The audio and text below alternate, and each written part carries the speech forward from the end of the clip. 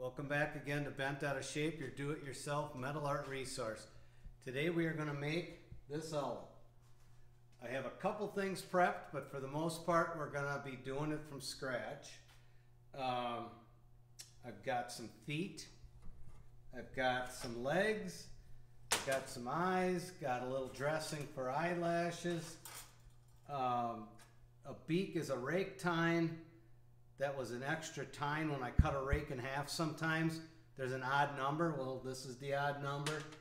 And then a rake rake, metal uh, leaf rake that we're going to cut in half. I'm going to show you how to do that and keep it intact so we have two halves of the wings.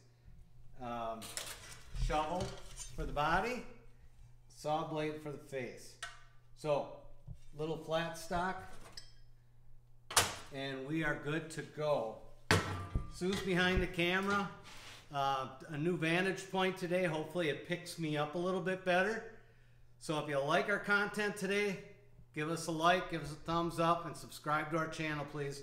And we'll keep doing this. So what we're going to do is make this in this episode, and then we're going to do another episode on painting it, because that's going to take a little time too. So, when are you ready, Sue? Because we're going to go for it. All right. Got my helmet handy. So the first thing we're going to do is get these wings prepped. So I'm just going to set some of this stuff to the side. What'll happen is if I cut this in half, the, the tines will literally fall apart. So this is now taken apart with a couple bolts, throw the handle away, you get to this point. I'm going to weld these together a little bit. Then I'm going to finish cutting it in half. Then you'll have two nice half wings. So bear with me. This is powder coated or coated somehow and it doesn't weld the best.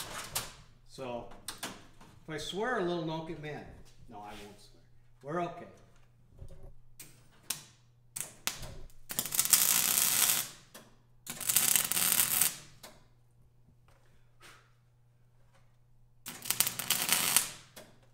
I'm gonna turn my fan on to get rid of some of them fumes, so it's gonna get loud.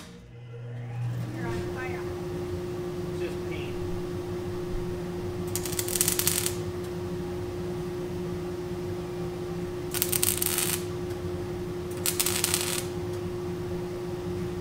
If there was a way to get rid of that paint in there, I would do it, but you can't get in there to do it.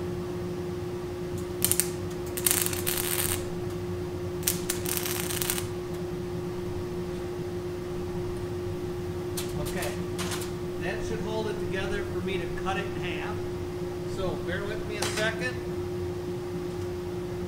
Throw a mask on because it gets a little nasty.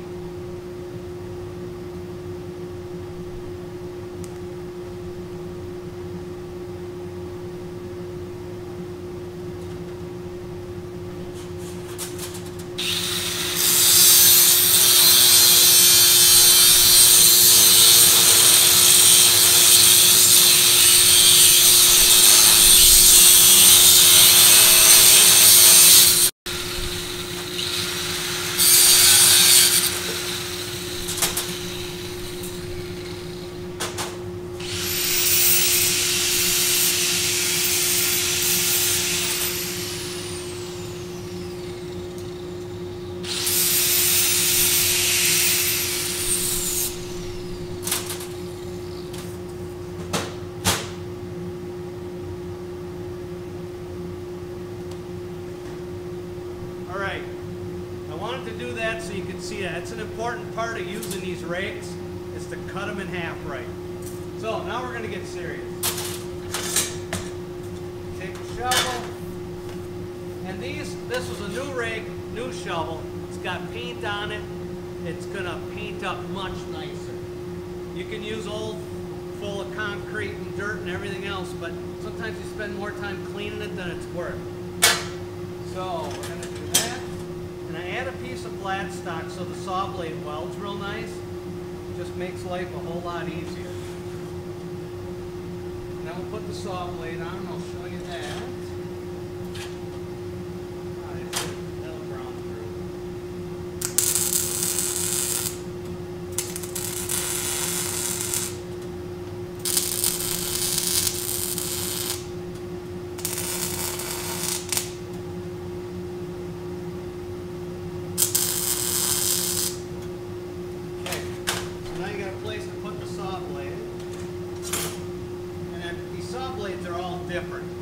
One's got a diamond knockout. So when you weld that thing on there, you want to make sure you weld the diamond knockout or the blade could potentially fall right off. And then they typically got another hole here. So depending what I'm going to do with the eye, I try to hide the hole. If you see, there's a hole right here that I hit there. So we're going to do the same thing. Put that there. We're going to weld this on.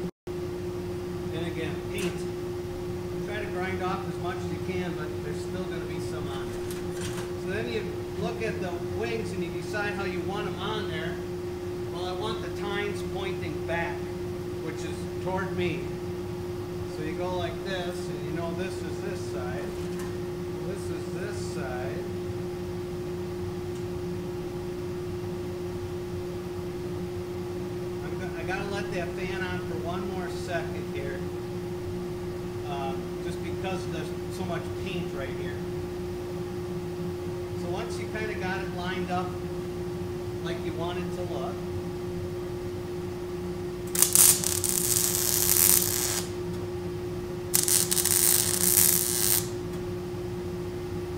try to see where those blades are underneath there.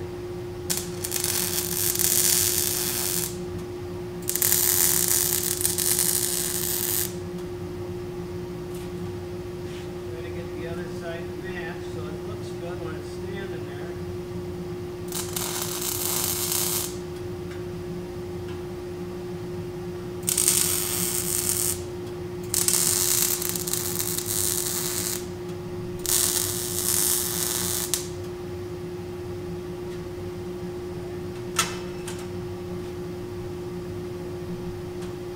Good. Well, that ain't bad. Let me add a touch here yet. Hang on. I'll shut that off.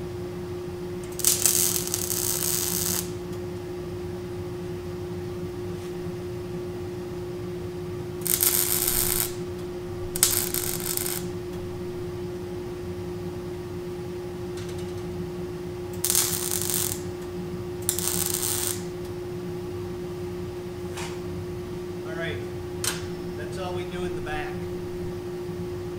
Now,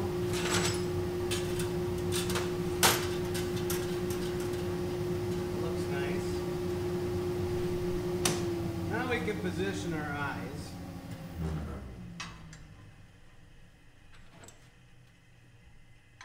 And when I take one of these spring, this is off, it's a spring tooth deal. There's a right and a left when you cut it in half, so it creates some symmetry when you do that. And then I'm probably gonna weld the nose on first, or the beak. Put the beak on first, then I'll put those on. Just nice to see how it's all gonna fit together.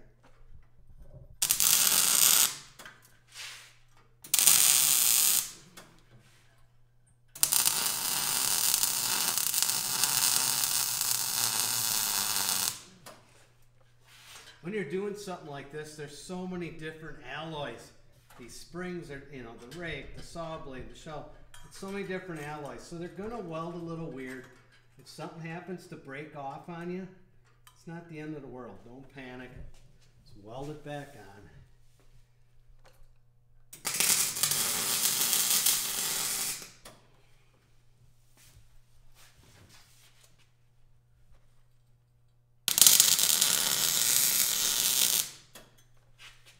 Okay.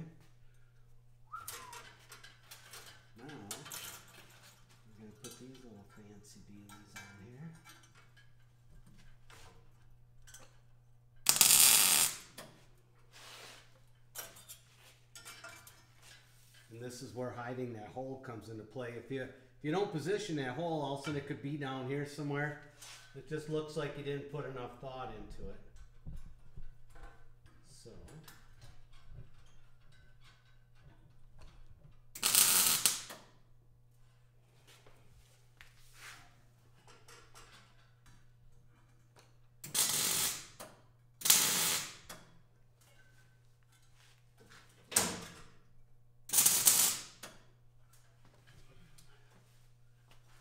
Okay, it's taking shape.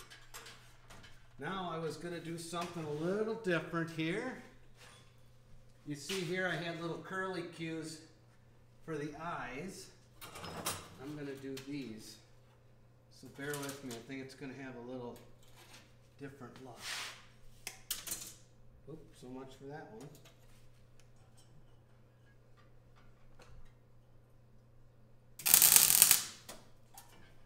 Th- This is just a detail that you can go with or without.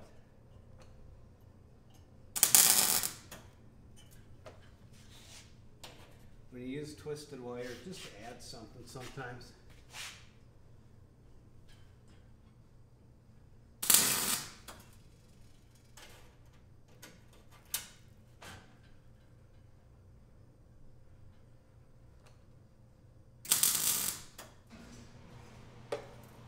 Okay. And attack once more. One more time. Alright. That looks good. Ah, I was going to put these in. This is what catches the caulk and the glass eye. So, Show it to us. what's that? Show us what you have in your hand. Well, it's a it's a little pressed dome, and then I put the caulk in there and a glass eye. But in this situation, I think I'm going to have to use a little magnet. If I can find my little magnet, here you go. 'Cause I can't seem to hold it decent. So we're going to go like this. Hopefully it stays there like it's supposed to.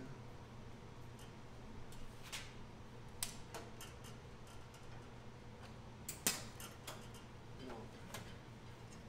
Okay. We're gonna do it different. I'm gonna tack a nail onto it and break it off. It's gonna be easy.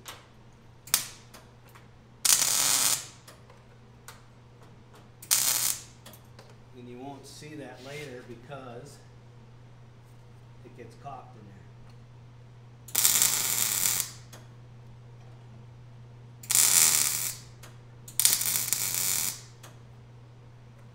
Gets caulked and painted.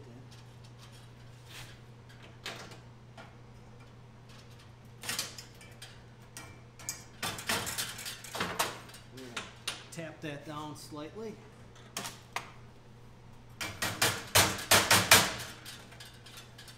Okay, we're gonna do that one more time.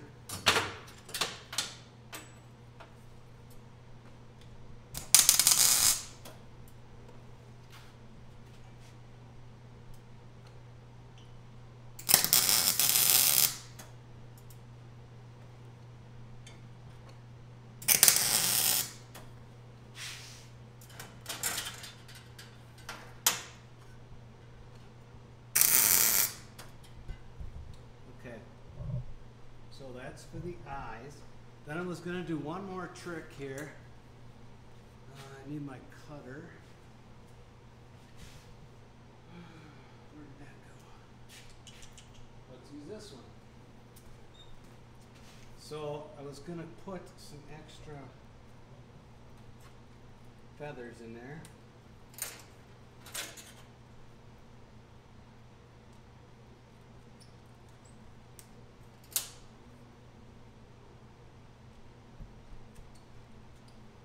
Okay, that should be good. So what we're gonna do with that is bend them slightly, two of them.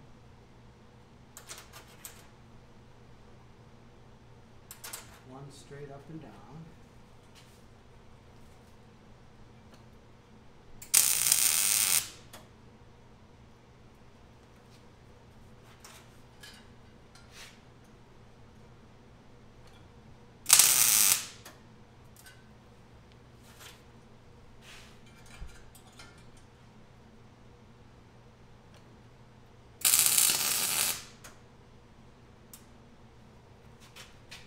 Tell people, there is really no right or wrong. It's metal art.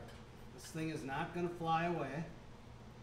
It's whatever you want to do to give it the look you want.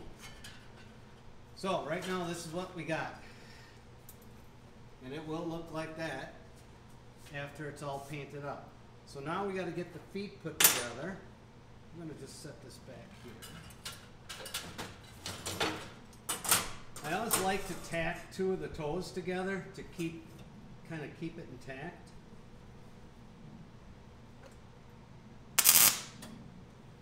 And now, these are the legs.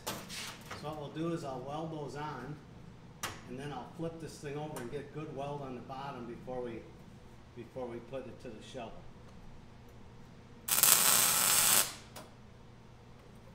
Is that rebar? This is one inch rebar. It's a little meaty. You can use anything. You see this is just twisted iron. Whatever I have laying around, that's what we're using.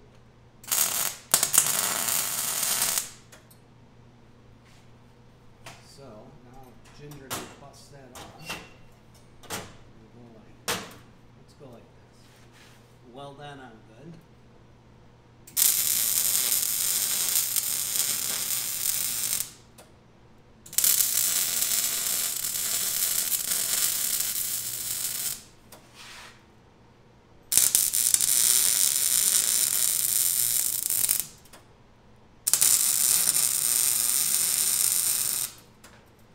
All right, let's put a little here to you.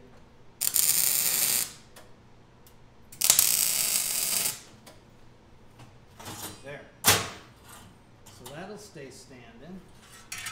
Now, we're gonna weld that just like that. So I gotta grind a little bit of paint off the back. Grind a little paint off the back.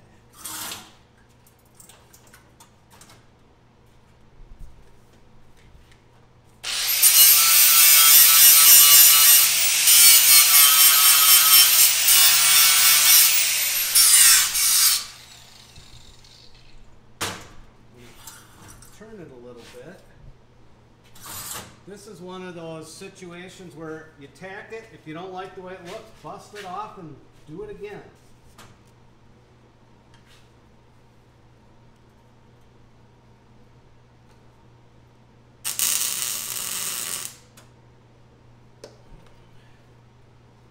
I do believe that's gonna, that's gonna be okay. It's straight across.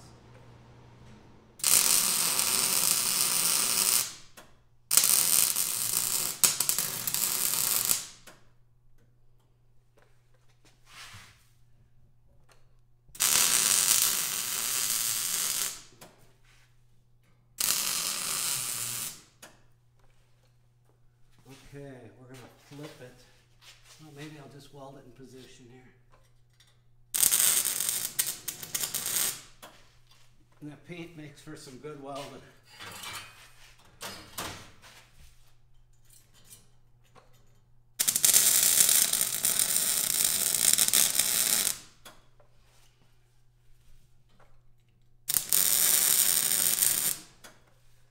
There. Just a touch up with the sander.